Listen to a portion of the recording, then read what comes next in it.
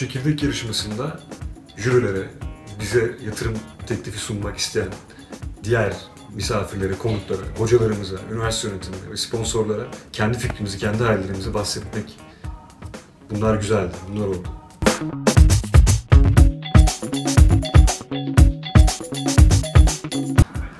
E, antrenörler bizi teknik olarak hani her işin kendi tekniğine göre hukuk olsun, e, muhasebe olsun, işte patent konusunda olsun. Çok gerçekten çok büyük yani verimli bilgiler elde ettik oradan. İşte nasıl yürüteceğimizi, nasıl devam ettireceğimizi, patentleri kendi fikrimizi nasıl koruyacağımızı öğrettiler. Gerçekten çok zaten adı duyulmuş insanlar olduğu için bize çok yarar dokundu.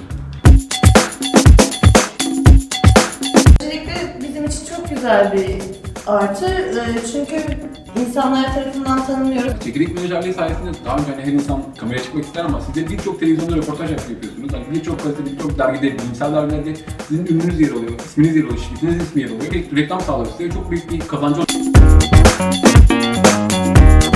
Hayallerimize bir adım daha uzaktan bakıyorduk. Çekirdek olmasa hiç B planı yapmadık. İyi ki var. İTÜ çekirdek olmasaydı emeklemeye devam ederdik. İhtimal ayağa kalkamazdık. Bu kadar deneyim sahibi olamadık kesinlikle. Biz kendi kendimize çok daha uzun süredir bu işleri yapardık.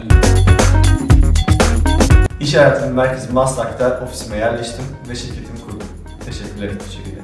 Yüksek ARGE ile projemi geliştirdim ve şirketleştim. Teşekkürler Çekirdek. İTÜ'nün tam donanımlı laboratuvarlarını kullandık. Patent başvurumuzu yaptık. Teşekkürler İTÜ Çekirdek. yani 100 bin liralık destek kazandık. Ve bununla şu anda şirketimizi kurduk. Daha da büyütmeyi düşünüyoruz bu yıllık parayla. Pazara bir an çıkmayı düşünüyoruz ve bunun için İTÜ Çekirdek'e çok teşekkür ediyoruz.